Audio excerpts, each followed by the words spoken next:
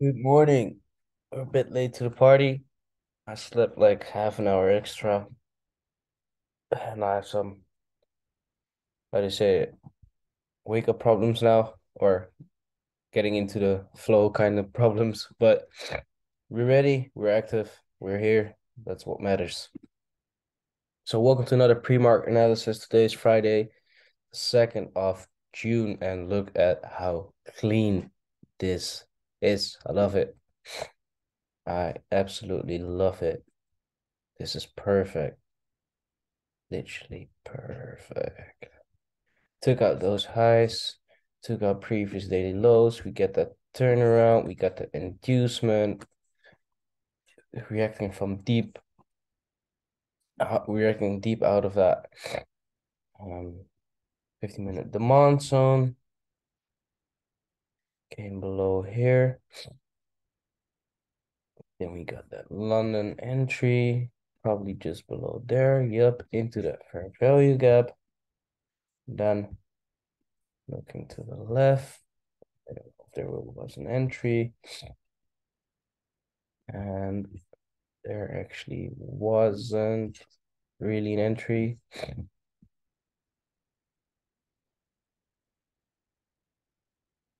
But nice nonetheless. Now following this one to the downside, there, I think there's a short entry because I said we still have this range from this high down to that low there. So we got a 50 minute structure shift over, over here. And then we follow this one. And then this is a little recap, by the way. We have this um last zone of supply. And then if we go lower, we want to see early sellers on the way up. The only thing with this is that you have to take from the one minute, but that's all right because yeah, you just follow the structure. I don't know if it lines up with DXY though. Come on. There we go.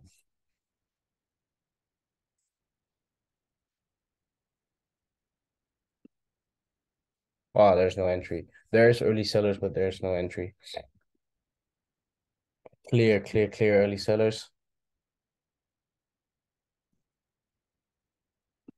Already saw them on the five minutes. That's another good thing. And then you can see here, this one doesn't break above, so this break is not bearish break, and we're not in a POI anyway.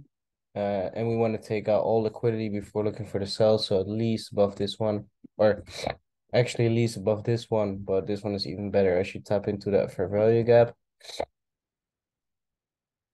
Then you want to break, but there's no break. So that's it. All right, that was nice. Really that really that fast. I can do a recap, but yeah, you want to cover everything. Now, if we go to the 15, we can see that closure probably, yeah. So we got that candle closure uh wick or entire candle that doesn't come above here. Takes out that wick. Then we get this one that comes above, closes a doji, followed by a strong bearish push. And this one is quite inducing. Inducive? I don't know. Because we get below here, but immediately followed by the turnaround. All right, let's get into today. So what are we looking at today? First of all, we got previous daily highs here. Those are taken. Now we're taking out Asia highs. So you could, I'm not trading because I got my profits for this week. I'm happy with that. But you can see here we took previous daily highs. Previous daily highs. We took out this internal range liquidity. We're now reacting from this area up here. Actually, this one. But if we zoom in, you can see that we now took out Asia highs as well. And this is the recipe for a nice short entry. Thing is, where are we? If we look to the left, so we took out this trend line, liquidity. We now have a bullish break. actually this one, but let's use this one as this was more, uh, okay, let's use this one.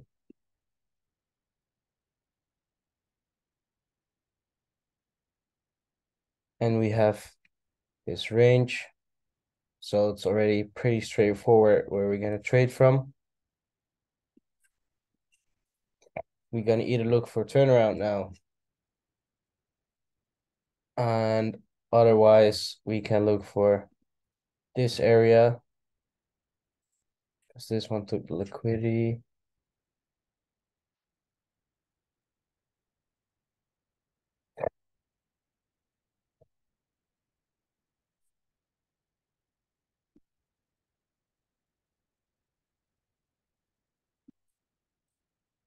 or we can look to trade from this area and then we got a little cluster of trades that of candles over here little slowdown we can maybe use that as liquidity but if we get below here then especially this area has a nice liquidity point in the form of this uh, New York low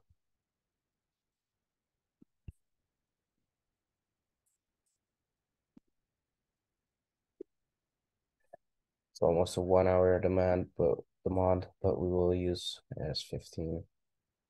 This is definitely a 15 minute demand.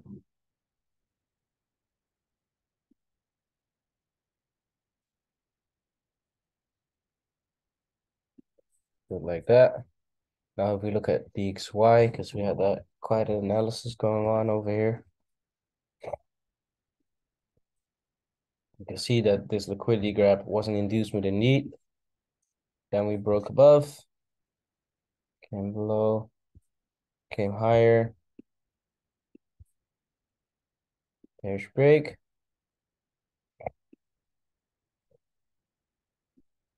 And pretty much same story here. We're now inside this bearish range. Now if we zoom out here, what else do we have?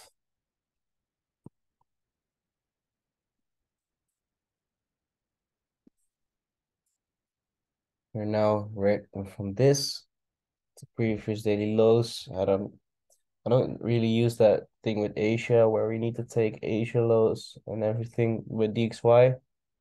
But hold up. Ow. I just use that for EU and GU. So looking at the area, we took this liquidity so the same story here, we might get that return into that premium pricing, then we might continue down.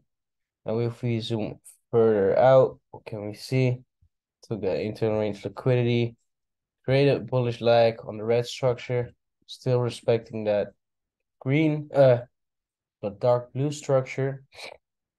and essentially, this was that liquidity sweep before that turnaround. So buys below here, below Asia for, well, especially on EU. Below Asia, I don't know if that needs to happen on DXY, we'll see. And then the turnaround. So, aka sells on EU until we reach the discount. And from the discount, we're going to look for buys. Now, GU, as I said, this perfect trend line will be taken out. That was too easy. Let's see. Sorry. Mm. My nose.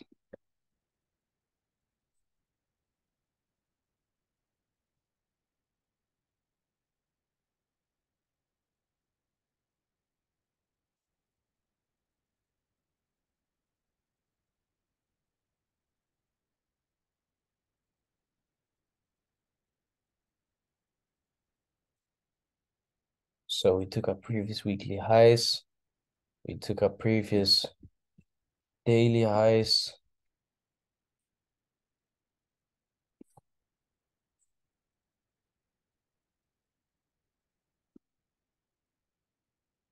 And yeah, Asia is still above and this high from to the from the left. So ideally want to wait for that to be taken before looking for shorts.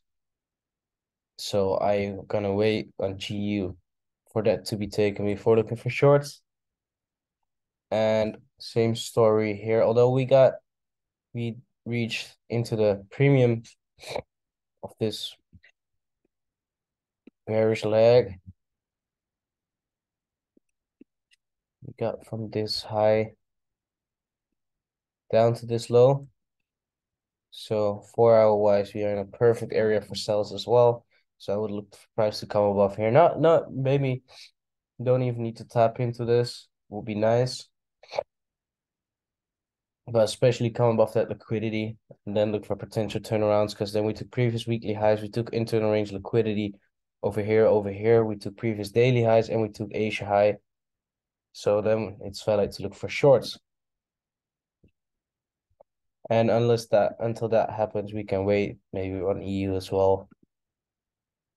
DXY is still showing us that it can, can come lower just by looking at this bit of price action. Now, if we go lower, see that just respecting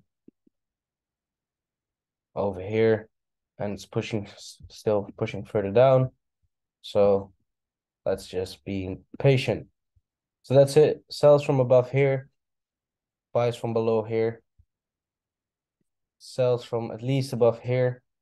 And same story here where we got some buy areas on DXY, but let's fall, uh, let's not mark them on uh, on GU, but let's not let's not mark them on. Yeah, as we have this bearish range still intact. Although looking at DXY, if this bearish trend continues, I would say it's this one on the higher time frame. Yeah, we know it's that one on the lower time frame, but this one on the higher time frame. I would say if this one this continues, then GU will come way up. Because it will come easily above here. Although we didn't reach into that um into a premium price uh discount pricing for the blue leg we can see that we took this liquidity over here and now we're up here. DXY took this liquidity, now we're up here.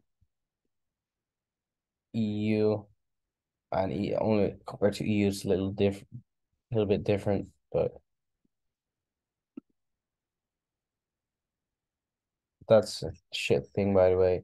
That means that we could go down this little bit of price action look exactly the same as DXY in the higher time frame. That's not good. So the DXY means sells means GU buys. So bit of a conflicting thing there. But let's focus on the sells from here and buys maybe from discount pricing then as we want to see DXY go lower, meaning EU GU go higher.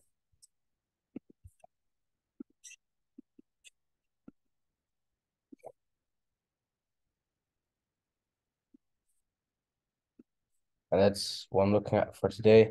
I don't know if I will be trading. I don't think so. It's been a nice week. Why give anything back? All right. Peace out.